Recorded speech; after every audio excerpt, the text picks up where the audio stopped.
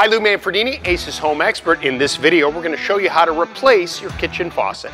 The first step in replacing a kitchen faucet is to turn off the water to the faucet itself. So underneath the sink, you'll find a couple of valves like this. You want to turn it off. This is what's called a quarter turn valve, so you just have to turn it a quarter turn. Some may actually keep turning until you can't turn it any longer.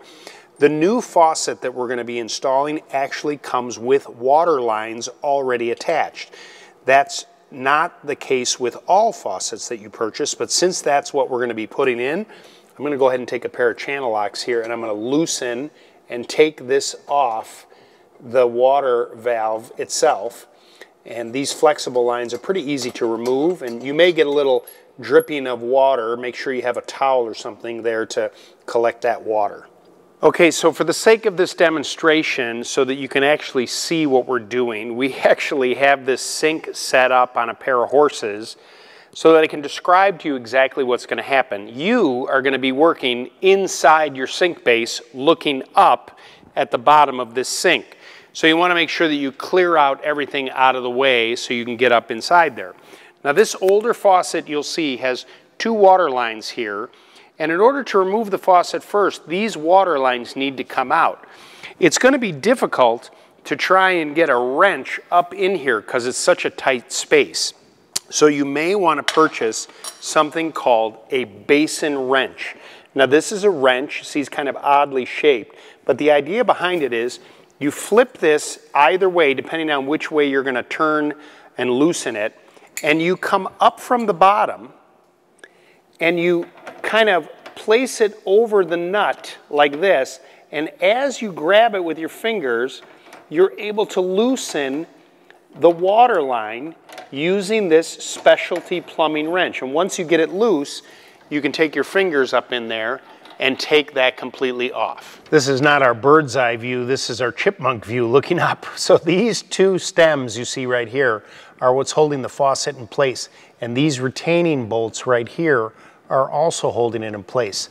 Now, depending on the age of the faucet, you may be able to reach up with your hand and loosen these. If not, you can again use the basin wrench to get up inside there just to kind of crack that and undo it first. It's a little tricky because remember it's going to be a tight area, but you're going to use that wrench to loosen that. And once you do, you can take your hand and start removing this. Once both of these retaining nuts are off, you'll pull the faucet out from the top.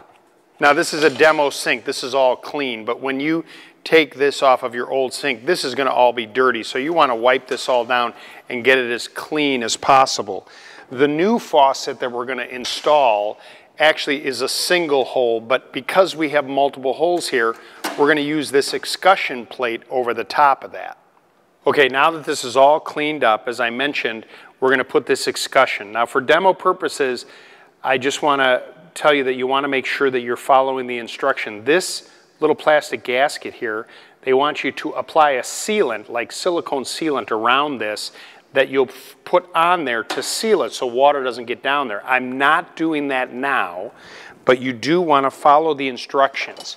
Now with that escutcheon in place, this is a single faucet. I'm going to feed the water tubes through that hole, and then the entire body of the faucet is going to fit in there over the top. So now I'm going to feed the parts as recommended by the manufacturer through the water lines because as I mentioned these water lines are connected to the faucet already and you're going to get the fitting in place and then screw on the retaining nut where it needs to go.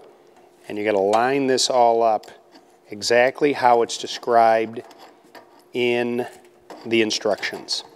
Okay, our new faucet you see came with water lines and I think you can see the difference. There's one that has a little red marking and one that has blue.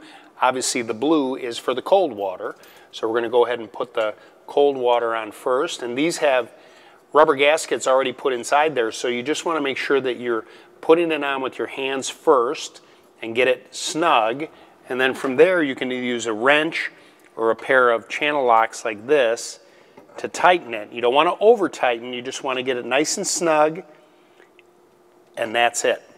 Turn the water on, make sure there's no leaks, and then it's time to test the faucet. If you'd like more advice, please go to our website, acehardware.com, and follow us on our YouTube channel. Or better yet, stop by your local Ace Hardware store because Ace is the helpful place.